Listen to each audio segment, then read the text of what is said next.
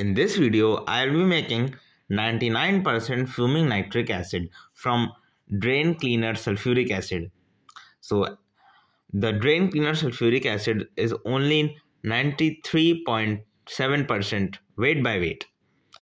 So to make 99% fuming nitric acid, I have to use excess of acid. In the round bottom flask, I added around 75 grams of potassium nitrate, which was oven dried, and then to it I added 90 ml of concentrated sulfuric acid, which is twice the molar ratio of potassium nitrate. So, after adding all the drain cleaner sulfuric acid, I arranged the apparatus for a simple distillation and turned on the heating mantle. I have also set a trap for nitrogen dioxide and vapors of nitric acid. This includes only water. Slowly, the potassium nitrate dissolves in the concentrated sulfuric acid slowly to give a clear solution.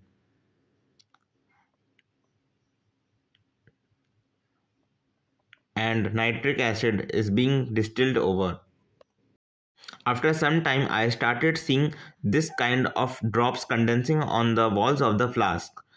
So I guess that this was azeotropic nitric acid condensing on the walls of flask. So I switched off the heating mantle and then took out the receiving flask and checked the concentration of my nitric acid by filling it in this 25 ml volumetric flask which was pre-weighed and then again weighing it thus take i calculated its density and from the concentration density chart which is available online i found its concentration.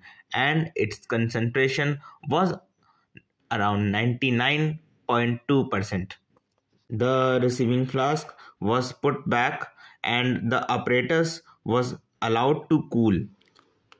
So this was only 25 ml of 99% nitric acid which was stored in a glass bottle. This will be used in the synthesis of trinitrotoluene which requires 99% or purely anhydrous nitric acid.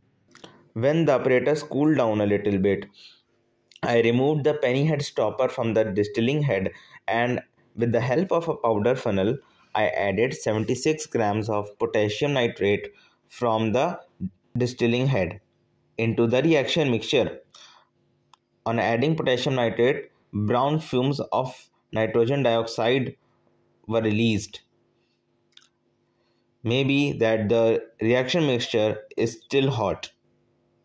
Anyways, I added all the potassium nitrate into this reaction mixture you can see that potassium nitrate crystals have stuck onto the walls of the distilling head and also on the joint.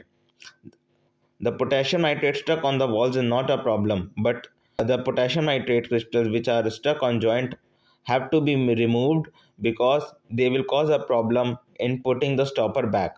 So they were removed with the help of a glass rod and then I put the stopper back and then again I switched on the heating mantle.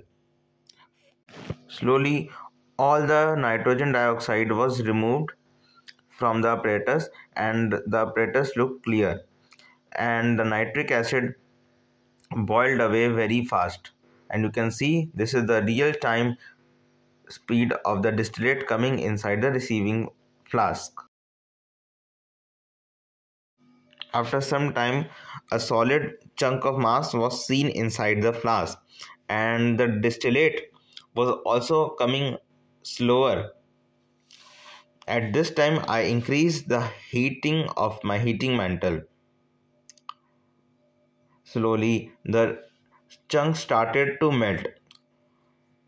This chunk is of potassium nitrate and potassium bisulfate. Distillation was continued until drops of distillate, which is nitric acid, was coming. Slowly gradually, as the temperature in the flask was increasing, the chunk was melting and more and more nitric acid was coming. at one point when all the chunk has melted, nitric acid stopped coming. At this moment, I switched off the heating mantle and allowed the apparatus to cool. When apparatus has cooled a little bit, I took out the receiving adapter and checked the density of nitric acid. This time the concentration was found to be 92.3% weight by weight. I checked the volume of nitric acid. It was around 41 ml. Thus, 25 ml of 99% nitric acid and 41 ml of 92.3% nitric acid was produced, which corresponds to a percent yield of 99%. So in this video, I will not be showing you the reactions of fuming nitric acid with copper metal and nitrile gloves because I have already shown that in my previous video in which I have shown to make fuming nitric acid but in that video I was only able to make 85% fuming nitric acid. Thanks for watching. If you have any suggestions, please write down in the comment section and don't forget to like, share and subscribe. If you like my work, you can support me financially through Patreon and PayPal. Links are given in description.